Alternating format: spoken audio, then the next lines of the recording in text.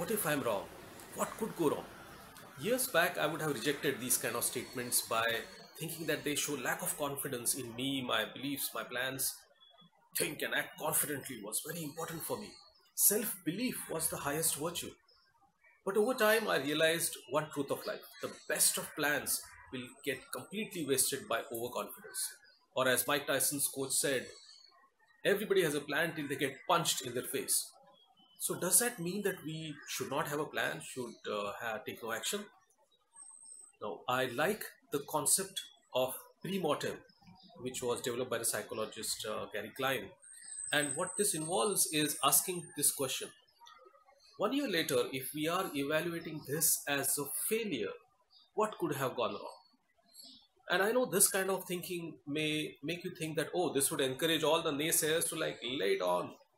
But it also helps you in anticipating what can go wrong. And the key is to take action against it. I have seen many leaders and businesses um, get into trouble with their overconfidence about themselves, about their business, and about their products. Need examples? Take the example of Nokia, Blackberry, Blockbuster Video. They all have disappeared because they were too confident about what they were doing. And even at a personal level, at the end of the year or whenever you can, you need to review what are the beliefs which are working for me? What are the beliefs which are not effective any longer? As an NLP master practitioner, I can tell you that our worldview is shaped by our beliefs. And all beliefs are artificial representations of this world.